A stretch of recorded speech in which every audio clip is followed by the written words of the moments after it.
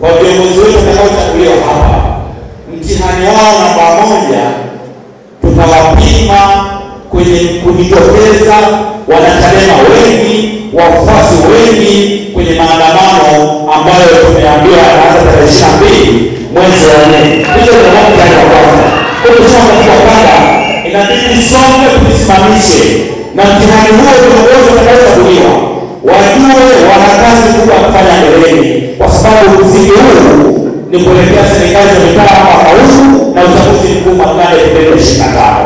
La mwisho, Mheshimiwa Katibu wa Kanda, ukiona balbu inaungua mara kwa mara, unaweka balbu inaungua, unaenda dukani na nguo nyingine inaungua, unanunua tena inaungua, ujue shida sio balbu, shida inaweza kawa ni boda.